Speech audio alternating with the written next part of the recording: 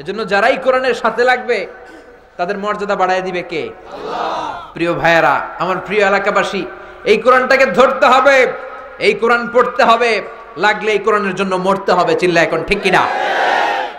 যারাই কোরআনের সাথে লাগে, মর্যাদা বেড়ে যায়। আল্লাহ আকাশ চুম্বি করে দেয় তার মর্যাদা। ছোট্ট একটা উদাহরণ দিয়ে বুঝাই। আমরা যারা ব্লেজার বানাই, ব্লেজার স্যুট পরেন না আপনারা? ব্লেজার স্যুটের কাপড়গুলো অনেক দামি হয়। তিন হাজার টাকা গজ পাঁচ হাজার টাকা গজ। আর এই মহাবিশ্বের মহাবিশ্বয় বিশ্বের সবচেয়ে নন্দিত বইটা আজকে নিন্দিত। এই বইয়ের যে চুজদান বানানো হয় গিলাফ বানানো হয় কোরআনের গিলাফ আছে না ঘরে? কথা বলেন। বাজারের সবচেয়ে কম দামি কাপড় দিয়ে কোরআনের গিলাফ বানাবে দোকানে যায় কয়, "চার টন কাপড় কম দামি কোনটা আছে এটা দেন। কি করবেন? কোরআনের গিলাফ বানাবো। কথা ঠিক কিনা? সবচেয়ে কম দামি ট্যাটন কাপড় তিরিশ টাকা গজ ওইটা দিয়ে কোরআনের গিলাফ বানানো হলো আর তিন হাজার টাকার গজের কাপড় দিয়ে আপনার ব্লেজার স্যুট বানানো হলো। ঘরে ঢুকে একদিন দেখলেন, ব্লেজার মাটিতে পড়ে আছে, ব্লেজারে আপনার পা লেগে গিয়েছে। এমন কোন আহাম্মক কি বাংলাদেশে আছে, ব্লেজারটা ধরে চুমু খাবে? খাবেন না? আচ্ছা খাবেন না। আর ঘরে ঢুকে দেখলেন কোরআনের গিলাফ পড়ে আছে। তিরিশ টাকা গজ, কত টাকা গজ? কথা বলেন। তিরিশ টাকা গজের কোরআনের গিলাফ পড়ে আছে। মনের ভুলে হঠাৎ করে পা লেগে গিয়েছে গিলাফে। চুমু খাব কি খাব না? এমন কোন মুসলমান আছে কি যে চুমু খাবে না? তিরিশ টাকা গজের ট্যাটন কাপড়ের মায়া এত হয়ে গেল আপনার কাছে। হ্যাঁ? আহা, লাগছে কোন কিতাবের সাথে? কথা বলেন। অমিয়া, এই কোরআন যদি ট্যাটন কাপড়ে আকাশের উপরে নিতে পারে, এই কোরআন যদি তোমার সিনায় জায়গা দাও, তোমার কি আল্লাহ উপরে উঠাতে পারে না? এজন্য কোরআনের সাথে লাগলে টেট্টন কাপড় যেমনি আকাশচুম্বী হয়ে যায়, কোরআনের সাথে যারাই লাগবে তাদের মর্যাদা বাড়ায় দিবে কে?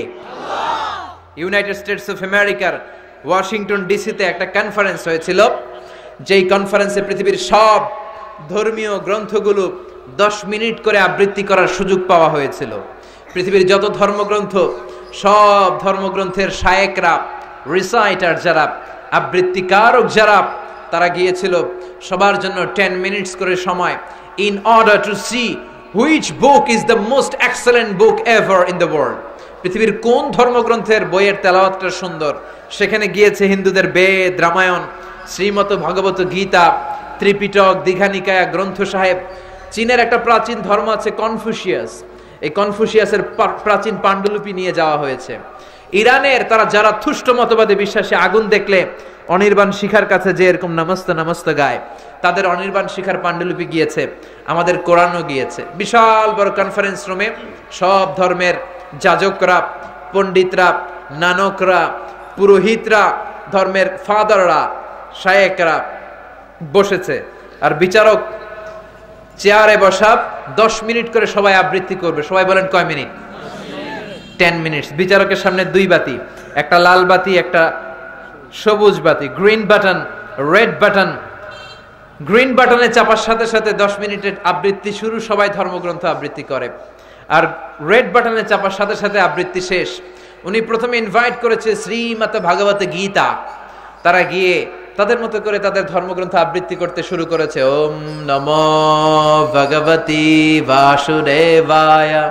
তাদের প্রত্যেক শ্লোকে ঈশ্বর, ঈশ্বরী, ভগবান রাম কৃষ্ণের স্লোগান আছে না নাই? তারা ভগবতী বলে টান দিয়েছে। আফটার ফিনিশিং টেন মিনিটস বিচারক প্রেস দ্য রেড বাটন লাল বাতি চেপেছে। শ্রীমত ভগবত গীতার আবৃত্তিকারক নেমে এসেছে।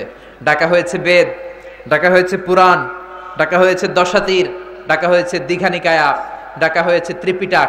তিনটা পিটাক মিলে ত্রিপিটাক, বিনয় পিটাক, শ্যাম পিটাক, অভিধর্ম পিটাক। এরা বলে, ওম শান্তি ওম শান্তি। ঠিক কিনা? টেলিভিশনেও আমরা দেখি, এদের মাথায় চুল নাই। হলুদ চাদর গায়ে দিয়ে বলে, বুদ্ধাং শরণং গচ্ছামি, ধাম্মাং গচ্ছামি। আর বলে, নির্বাণাং পরমং সুকং নির্বাণাং পরম শান্তি, ওম শান্তি। কিন্তু মিয়ানমারে যে নারকীয় তাণ্ডব তারা দেখিয়েছে, ওদের আসলে বলা দরকার, ওম অশান্তি ওম অশান্তি। চিল্লা এখন, ঠিক কিনা? তারাও দশ মিনিটের জন্য সময় পেয়েছে। তো তারা, ওম শান্তি ওম শান্তি বলে দশ মিনিট শেষ বিচারক রেড বাটনে চেপেছে। তেলাওয়াতকারী নেমে গিয়েছে। ডাকা হয়েছে দ্য হোলি বাইবেল। আপনারা রোমের একটা জায়গা আছে, এটা রোমেরই অংশ, পৃথিবীর সবচেয়ে ছোট্ট দেশ, ভ্যাটিকান বলে এটাকে। কি বলে? Vatican city. ওখানকার পোপ এসেছে। মাথার এই পাশে, কিছুদিন আগে বাংলাদেশে একটা পোপ আসছিল না? মাথার এই দিকে ছোট্ট একটা টুপি পরে উনিও জেসাস ক্রাইস্টের প্রশংসা করতে শুরু করল help us Jesus the son of God ও গডের ছেলে, যিশু খ্রিস্ট, আমাদেরকে বাঁচাও। পড়তে শুরু করল, দশ মিনিট শেষ। বিচারক রেড বাটন চেপেছে, নেমে গিয়েছে। সব ধর্মগ্রন্থের আবৃত্তি কারকরা। কারি সাহেবেরা দশ মিনিট পড়েছে। সর্বশেষে কোরআনকে ডাকা হয়েছে আর কোরআন পড়ার জন্য এসেছে মিশরের সবচেয়ে বড় কারি আব্দুল বাসেদ ইবনে আব্দুল সামাদ। আপনারা অনেকে আপনাদের মোবাইলের মধ্যে তার তেলাওয়াত রাখেন। উনি লম্বা সুর করে দম নিয়ে তেলাওয়াত করেন। একটা আয়াত পড়ার পরে আধা মিনিট বিশ্রাম নেন, এরপরে নতুন আয়াত ধরেন, এরপরে আবার পেছন থেকে শুরু করেন, আর এরপরে আবার তিনি পড়েন।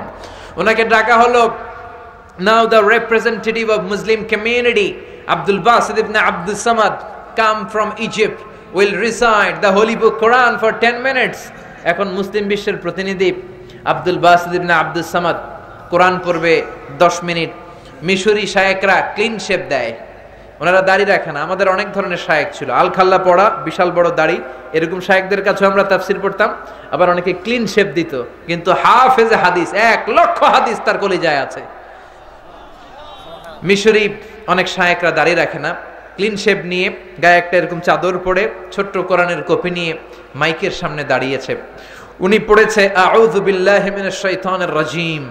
বিসমিল্লাহির রহমানির রাহিম বলে সুরা ফাতিহা পড়া শুরু করেছে। বলেন তো, সবার জন্য সময় ছিল কয় মিনিট? উনি সুরা ফাতিহাতেই লাগিয়েছে 13 মিনিট। শ্রীমত ভগবত গীতাওয়ালারা হাততালি দেয়, সময় শেষ, কোরআন গেছে। কিন্তু কি আজীব তামাশা, বিচারক তো লালবাতি চাপে না। বিচারকের লাল বাতি চাপানোটাকে ভুলিয়ে দিয়েছে কে? কেউ যেটা পারে না, সেটা পারে কে? কেউ যেটা দেখে না, দেখে কে? বিচারক যখন লালবাতি চাপে না, সুরা ফাতিহার তেলাও তো যখন শেষ, আব্দুল বাসিদ ইবনে আব্দুল সামাদ বললে, এই তো সুযোগ, এবার আমি আরেক সুরা ধরি। উনি কোরআনের সবচেয়ে চমৎকারতম সুরা সুরা রহমান তেলাওয়াত করতে শুরু করলেন। আব্দুল বাসিদ ইবনে আব্দুল সামাদের গলায় যত সুর ছিল, যত তাল ছিল, যত লয় ছিল, যত টোন ছিল, মেলোডি ছিল, ভয়েস ছিল, উজাড় করে দিয়ে তিনি পড়তে শুরু করলেন। আর পুরো কনফারেন্সে পিন ড্রপ সাইলেন্ট। পিন পতন নিরবতা, কেউ কথা বলে না। আর বিচারক পাগলের মতো এরকম তাকায় আছে। বিশ মিনিট যায়, বিচারক লালবাতি চাপে না। পঁচিশ মিনিট যায়, লালবাতি চাপে না। তিরিশ মিনিট পরে যারা অর্গানাইজিং কমিটি এরা গুলো কি রে কোনটারে বিচারক বানাইলাম? লালবাতি চাপে না এটার হয়েছে তাকাই আছে সে। অর্গানাইজিং কমিটির চেয়ারম্যান এসে বিচারকের গায়ে ধাক্কা দিয়েছে, এই বেটা why what the hell are you doing here what's the wrong with you কি সমস্যা তোমার? Why aren't you pressing the red button লালবাতি press করো না কেন? ও ভূত দেখার মতো এমনি চমকে উঠছে কি? হ্যাঁ? লালবাতি? নীলবাতি? কোন বাতি অবাক অবাক করা কাণ্ড। লালবাতি, নীলবাতি কোন বাতি কোন বাতি তেলাওয়াত শুনতে শুনতে পাগল। ওইদিকে তেলাওয়াত কিন্তু চলতেছে। লালবাতি, নীলবাতি কোন বাতি কইতে কইতে আবার যখন আব্দুল সামাদ আব্দুল বাসিদ ইবনে আব্দুল সামাদের তেলাওয়াতের দিকে তাকায় আবার বেহুশ। হুশ নাই। আবার ধাক্কা দিলে কয়, লালবাতি, নীলবাতি। আধা ঘণ্টা পরে অনারেবল জাজ জাজ সে দাঁড়িয়ে বলতেছে, O Abdul Basit Ibne Abdul Samad there is no time limits for you recite as much as you wish O Abdul Basit, আজকের কম্পিটিশনে তোর জন্য কোনো নির্ধারিত সময় নাই। তোর যত মনে চায় তুই পড়ে যা। চল্লিশ মিনিট সময় লাগিয়ে আল্লাহর এই কোরআনের সবচেয়ে চমৎকার সুরা, সুরাত আর রহমান যে কেয়ামতের দিন আল্লাহ দাউদ আলাইসাল্লামকে ডাকবে, দাউদ, তোমার জাবুর কিতাব থেকে তেলাওয়াত করো, উনি তেলাওয়াত করবেন। এরপর বিশ্বনবীকে ডাকা হবে, মোহাম্মদ ইসলাম তুমি তোমার কোরআন থেকে তেলাওয়াত করো। বিশ্বনবী ইয়াসিন তেলাওয়াত করবেন। আল্লাহ প্রোগ্রাম শেষ করে দিতে চাইবেন, এক জান্নাতি বলবে, আল্লাহ, বিশ্বনবী কোরআন শোনাইলো, কোরআনের লেখক তো বিশ্বনবী না, কোরআনের লেখক হচ্ছে আপনি, আপনার কণ্ঠে আমরা কোরআন শুনব। সেই কনফারেন্স রুমে হাজারো কোটি জান্নাতীদের সামনে এই আর রহমান আল্লাহ তেলাওয়াত করবেন আব্দুল বাসিদ ইবনে আব্দুল সামাদ চল্লিশ মিনিট লাগিয়ে সুরাত আর রহমান তেলাওয়াত করে শোনালেন। বিচারক ভুলে গেল বাতি চাপতে, কিন্তু যেহেতু আন্তর্জাতিক কম্পিটিশনে বিচারকের বিরুদ্ধে তিনটা মামলা হয়েছে, যেহেতু আন্তর্জাতিক বিচার, আন্তর্জাতিক আদালত সুইজারল্যান্ডের কোথায়? দি হেগে মামলা হ্যান্ডকাফ পরিয়ে নেওয়া হলো। মাননীয় আদালত বলতেছে why made you speciality between the books You have given to Srimad Bhagavata Gita 10 minutes. Why have you given extra 30 minutes for Quran? Shrimad ভগবতের দশ মিনিট বেদরে দশ মিনিট বাইবেলের দশ মিনিট অতিরিক্ত তিরিশ মিনিট কোরআনকে দিলা কেন? তুমি তো বিচারক, এটা তো করা ঠিক হয় নাই। বিচারক বলে, মাননীয় আদালত I have a humble question to you আমার একটা প্রশ্ন আছে, আগে ওইটার উত্তর আমার দেন। মাননীয় আদালত তো টাসকি খেয়ে গেছে কিরে আমারে প্রশ্ন করে কেন?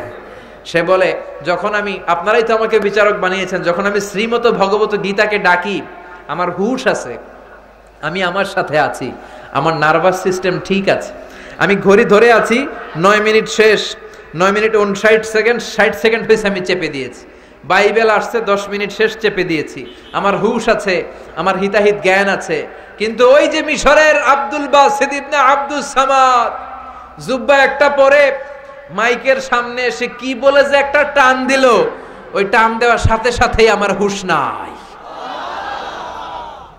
আমার হিতাহিত জ্ঞান নাই, আমার সময়ের কোনো হিসাব নাই, আমার নার্ভাস সিস্টেম ফল ডাউন করেছে। আমি আকাশের উপরে আছি, না বাতাসের উপরে আছি, না সাগরের উপরে আছি, না আদৌ বাইসা আছে কি মরে গেছি, আমি ওইটাই জানি না। যখন একজন মানুষ মেডিকেলি ফিট নয়, যখন তার নার্ভাস সিস্টেম কাজ করে না, তখন একজন মানুষ how come I press the red button মাননীয় আদালত, আপনি বলেন, তাহলে কেমন করে আমি লাল বাতি চাপবো? সুবহানাল্লাহ, পড়বেন না? একজন মানুষ আনফিট হলে তার কোনো মেডিকেলে আনফিট হলে তার কোনো বিচার হয় না, এটা আপনারা জানেন? একজন যদি পাগল হয়, কাউরে মাইরা ফেলাইলেও বিচার নাই। সব মিলে এই বিচারকের কোনো বিচারই হয় নাই, কারণ কোরআনের পক্ষে কাজ করছে এই জন্য ওরে বাঁচায় দিয়েছে কে? ওই খ্রিস্টান বেটা যদি কোরআনের পক্ষে থাকার কারণে আল্লাহ ওরে বাঁচায় দেয়, আমরা কোরআনের পক্ষে থাকার দরকার আছে না নাই? কোরআনের জন্য যান জীবন বাজি রাখার দরকার আছে না নাই?